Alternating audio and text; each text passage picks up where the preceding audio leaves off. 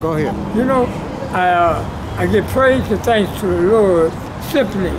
I'm not supposed to be here. I just recently had surgery just a couple of months ago. I'm not supposed to be able to talk. I'm not supposed to be able to sing. But guess what?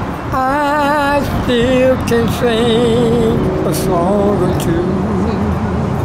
Anything you ask, I might do. See, but I'm not supposed to be able to do. I still got a feeding tube in me.